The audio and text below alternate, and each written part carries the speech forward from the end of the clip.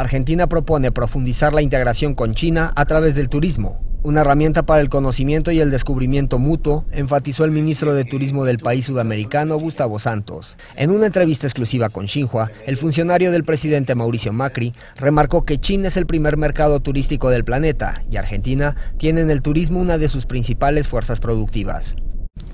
No hay forma de que dos culturas eh, que son bien distintas se integren mejor que a partir del turismo.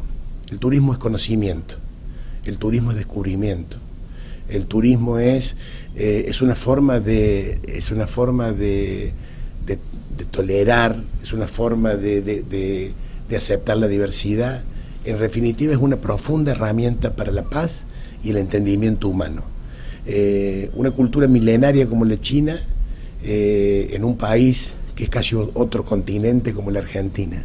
Somos dos grandes países en lugares extremos pero que tenemos para descubrirnos ambos de una manera extraordinaria. Para la Argentina, el desarrollo del turismo es generar empleo. Los turistas chinos van a ayudar enormemente a tener un país más grande, a construir un país mejor y sobre todo la integración mutua cada vez en mayor escala. Argentina tiene todos los climas, Argentina tiene todos los paisajes, diversas culturas, eh, una naturaleza exuberante, eh, pero también una cultura extraordinaria desde el tango, el fútbol, el vino eh, y, tantos otros atractivos de esta gran ciudad europea que es Buenos Aires, hasta, hasta los hielos continentales, la Antártida con sus pingüinos, o la Puna, la Puna jujeña o norteña, o las cataratas del Iguazú, que son una de las siete maravillas naturales del planeta. Y están aquí, en la Argentina, para que nuestros amigos chinos vengan a conocerlas.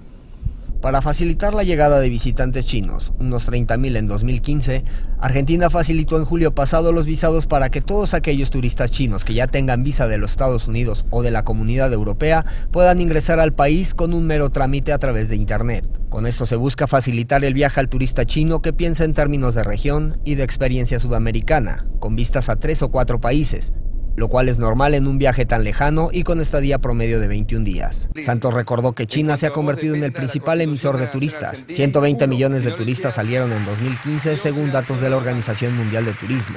Argentina en Sudamérica representa un atractivo demasiado importante para China debido a la diversa riqueza natural que tiene. Con información de la oficina en Buenos Aires, Argentina, Noticias Xinhua.